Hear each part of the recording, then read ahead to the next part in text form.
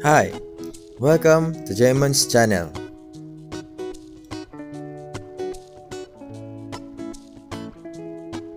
How to live stream on YouTube using StreamYard.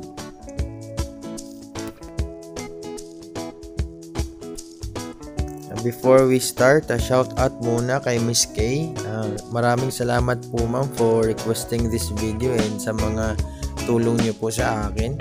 Maraming salamat po.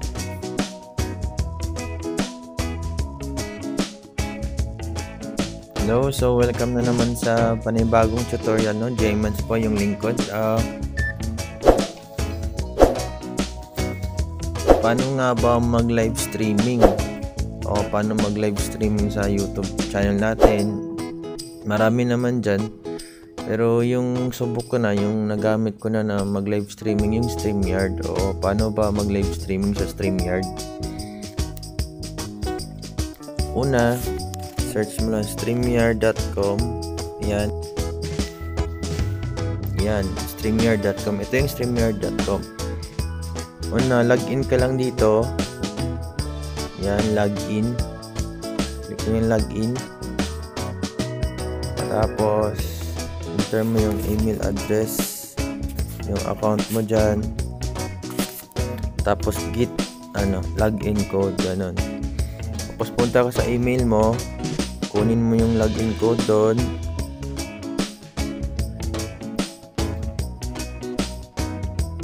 Yan login code.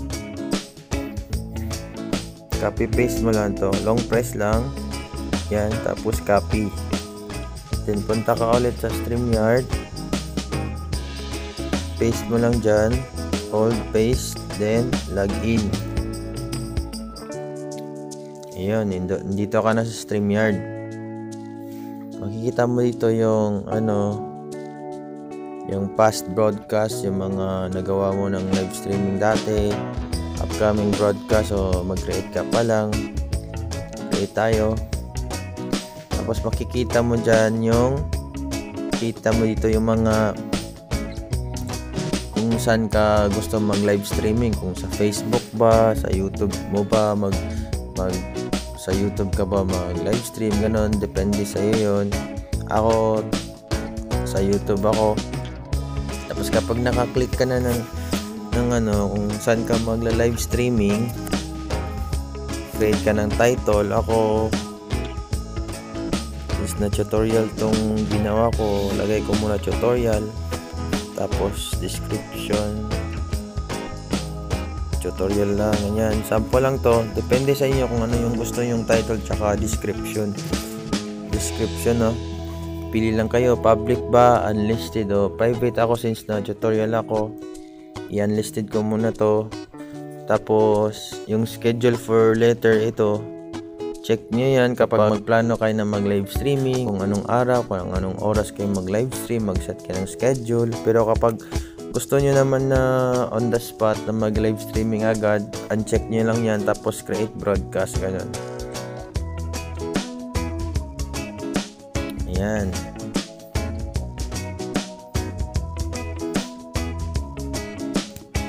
Ayan, andito na tayo sa StreamYard. Set up nyo lang lahat. Palitan nyo yung pangalan. Pwede nyo palitan. Kung ano yung gustong display na pangalan ng sa live streaming nyo. Tapos yan makikita nyo dito yung sa settings natin. Meron din microphone merong sa camera. Set up nyo lang lahat. Tapos pag okay na pwede din kayo magpalit ng avatar nyo ng picture. Click nyo lang yung edit avatar. Yan mag mag-upload kayo ng mga picture nyo dyan. Ito yung gagamitin ko tapos yan.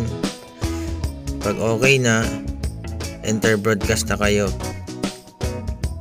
Ayan andito na tayo sa StreamYard. Landscape lang natin para makita lahat.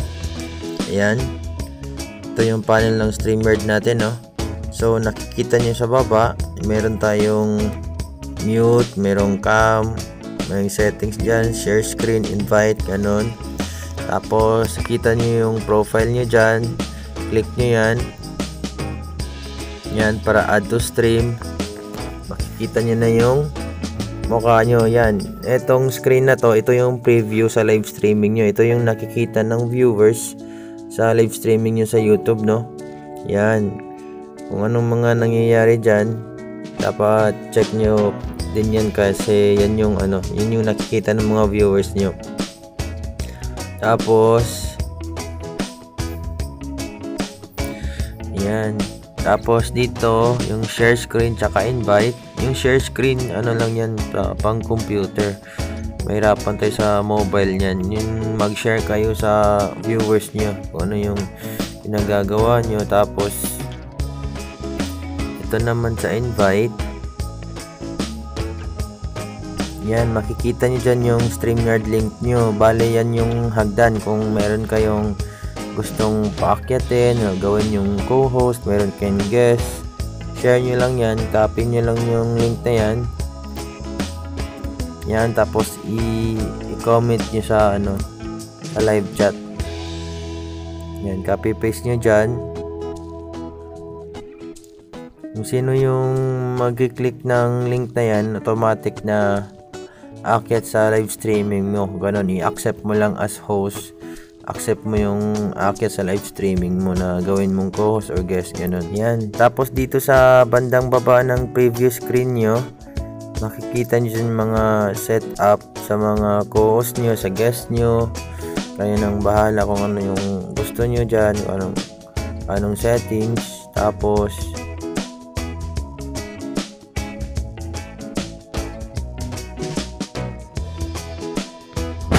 Yan. Tapos dito naman sa gilid, makikita nyo dyan may comments, banners, yung brand, private chat.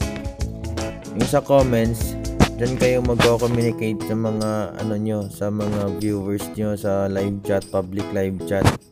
Yun. Tapos, yan. Tapos dito naman sa banner, click nyo yung create banner. For example, welcome to my live streaming. Ganon. Depende sa inyo kung ano yung gustong welcome banner sa mga viewers nyo. Yan. Then, click save or add banner. Ayan. Tapos, click nyo lang yung show. Yan. Tapos, double check nyo dun sa preview ng live streaming ano nyo, screen. Yan. Welcome to my live streaming. Nakikita nyo dyan. Kung gusto nyo naman yung banner na umaandar, pwede naman yun. Uh, punta lang ulit kayo sa banner section. Tapos, i-edit nyo yung ginawa nyong banner kanina. Nakikita nyo yung parang lapis yan. Click nyo yan, edit. Tapos, kita nyo yung scroll across bottom. Yan. I-check nyo lang yan. Then, save. Save nyo lang. Tapos, show nyo ulit yung banner niya, ginawa nyo. Ayan. Double check nyo sa screen. Ayun, di ba? Gumagalaw na yung banner nyo. Welcome to my live streaming. Ayos. Ayan. Tapos yan, nakikita nyo yung pangalan ko. Yan yung brand, brand name.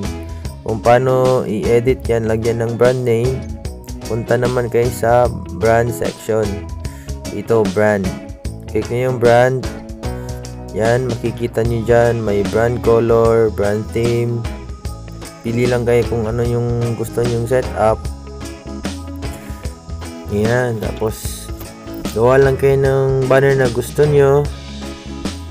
Tapos, andito naman yung brand color. Pili kayo ng kulay na gusto nyo ano sa banner nyo. Tapos, theme, may default, may minimal, meron ding bubble. Yan, check nyo dyan. Nakikita nyo yung kulay, yung, yung theme, yung minimal naman, yung konti lang yung color sa brand name nyo, hindi yung buong kulay. Tapos, yung bubble din, yan, yung parang oval na design. Depende sa anong gusto nyong set up sa live streaming nyo. Yan, ito yung yung preview ng live streaming nyo sa YouTube no, sa viewers mo. Dapat naka-check ka din dyan kung anong mga nangyayari dyan kasi para baka meron ka na mga nabago na setup na hindi mo alam check ka din sa sa preview mo Tapos,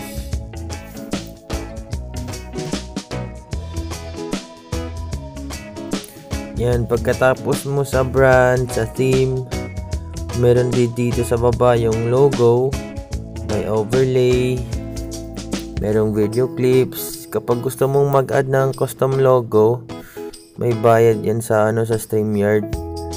So, depende sa inyo kung ano yung gusto nyo. Ayan, pagkatapos ni dyan, um, meron din dito sa overlay. Yan, pag mag-add ulit ng custom overlay, may bayad. Tapos dito sa video clips, yan, may default na video clips yung countdown. Kung kung gusto niyo mag ano, mag countdown kayo bago mag mag-start yung live streaming nyo, ganon. Tapos kapag mag-end na kayo, pwede nyo rin i-add yung video clips na countdown na. Yan.